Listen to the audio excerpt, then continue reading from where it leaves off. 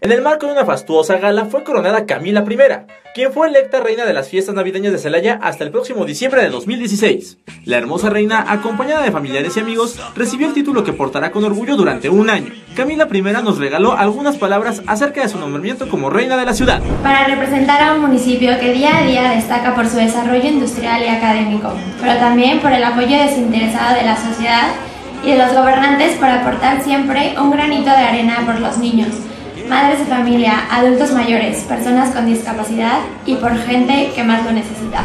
El alcalde Ramón Lemus Muñoz Ledo le extendió unas palabras de felicitación. Surge en la mente de nosotros cuando hablamos de las reinas eh, una especie de choque y una, especie de, de decir que es un anacronismo, pero cuando en realidad vemos lo que realizan las, las personas que se nombran reinas de la ciudad y lo que representan para una ciudad, el anacronismo desaparece y aparece en su lugar una sonrisa de una mujer que generosamente hace un trabajo para miles y miles de niños y no es una no es eh, poner de más, es una realidad.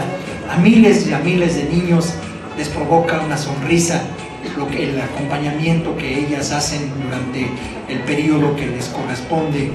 La presidenta del DIF municipal, María Dolores Ramírez Ibarra, también externó sus congratulaciones para la reina. Esta gran noche le damos la bienvenida a nuestra bella reina de Celaya, Camila.